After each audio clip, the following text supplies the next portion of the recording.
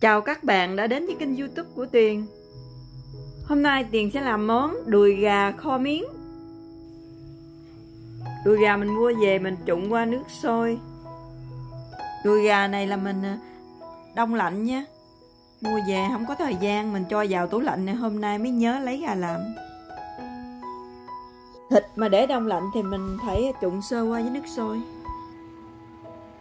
Còn miếng thì mình ngâm với nước nóng. Tiếp theo đây là mình ướp gà trước nha. Ướp nước tương. Dầu hào. Bột ớt khô. Tỏi mình bầm nhuyễn ra. Gừng cũng bầm nhuyễn ra nha. Tỏi gừng mình cho vào luôn. Đường sau khi cho gia vị vào, mình trộn lên cho đều.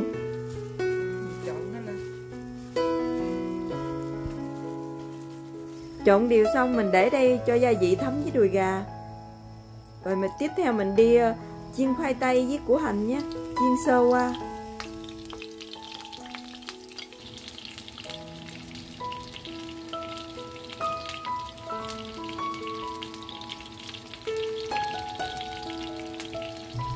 Củ hành mình chiên sơ qua mình gấp ra nha để lâu nó sẽ bị nhừ. Mình cho đùi gà vào chiên luôn nhé.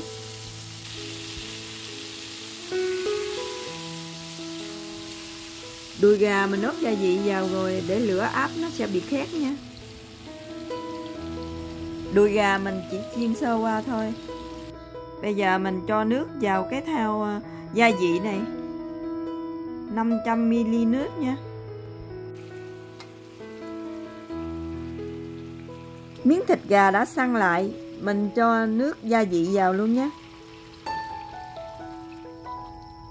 Đây, mình đậy nắp lại và mình hầm cho khoai tây chín.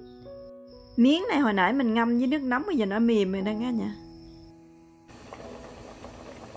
Nồi gà nấu được 7 phút, Nước thì cũng sắc xuống một chút. Khoai tây thì cũng chưa chín.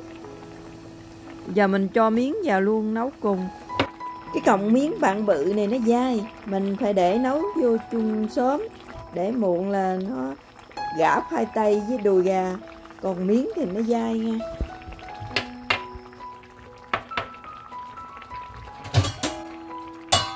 Mình để nắp để cho nó chín miếng này miếng mà mình làm nó không chín là nó bị dai nha.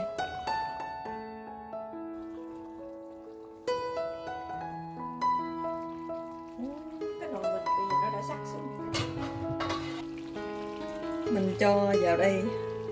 Đường bạch nha nước đường bạch nha. 20 cc dầu mè nha.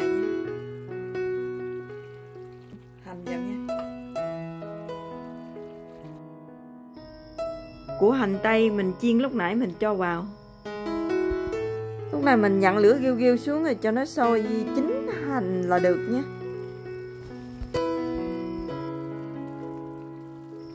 mình kho cái này nhìn thấy nó màu đỏ, chắc là cả nhà nghĩ nó cay lắm, nhưng mà nó không có cay nha cả nhà.